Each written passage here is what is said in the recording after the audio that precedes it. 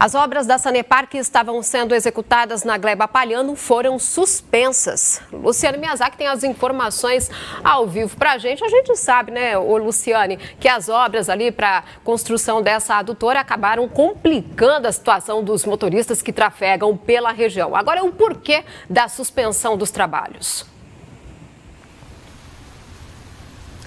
Pois é, né, Ju? Ayrton Senna aí bastante movimentada durante todo o dia. Imagina, então, os horários de rush, de maior movimento. Então, tem congestionamento, normalmente fica bastante complicado. A informação que a gente recebeu é que essas obras foram suspensas por, por, um pedido da Prefeitura de Londrina, que fez um pedido então de suspensão por tempo indeterminado.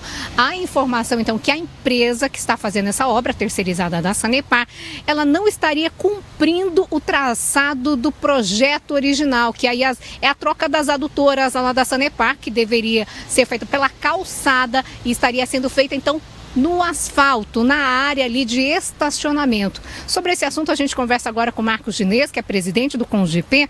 Olá, Marcos, boa tarde para você. Bom, e aí, essa informação aí pegou os moradores de surpresa ali daquela região? Boa tarde, Lu. Pois é, na verdade, assim, para nós isso aí traz uma grande tristeza, né? Uma tristeza por quê?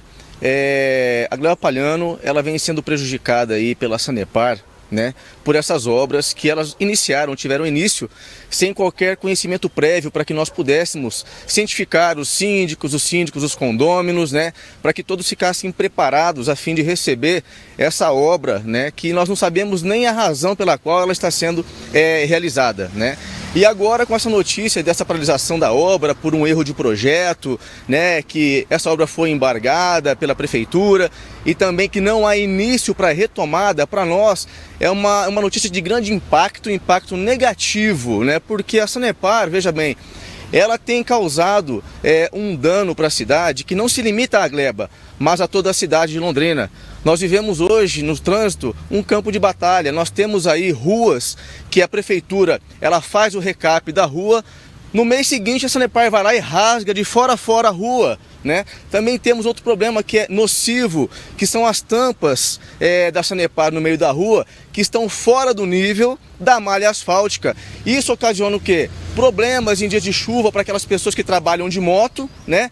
Passam sobre as tampas, caem, se machucam, causam dano a ela e também aos próprios carros. Então, ou seja, a Sanepar, ela tem sido nociva ao trânsito da cidade de Londrina. Tem alguma informação aí para vocês em relação à possível retomada dessa obra, de conclusão? Como é que vai ficar? Quando vai acabar esse transtorno? Como eu disse, é, nós não recebemos nenhuma é, é, comunicação prévia é, dessas obras que iriam iniciar e nem mesmo depois de iniciada se preocuparam em comunicar o CONGP que poderia ter comunicado o síndico, condôminos e também os empresários que, passam, que trabalham ali na gleba. Essa obra parada também é um transtorno ainda? Ela é um transtorno porque ela está ali é, entre a Aurico Zwinglio e a Madre Leone. Ali nós temos ali é, uma galeria de lojas e empresários que estão sendo prejudicados. É, passamos também ali pela padaria, pela padaria né, é, por empreendimentos ali que tem comerciais, enfim. Essa obra trouxe transtorno para todos é, os é, empresários que têm seu comércio ali e também para a população que no horário de rush, né, como vocês veicularam aí, é, o trânsito fica caótico naquele lugar. Com o GP estuda alguma medida? Olha, a medida que nós estamos esperando agora é provocar a Sanepar, né?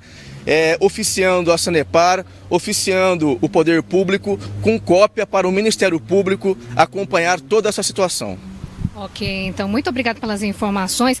A Sanepar, então, é, tem esse problema lá com os moradores do CONGP. A gente aguarda uma informação em relação aí a essas obras, a suspensão e a retomada ou não. Juliana.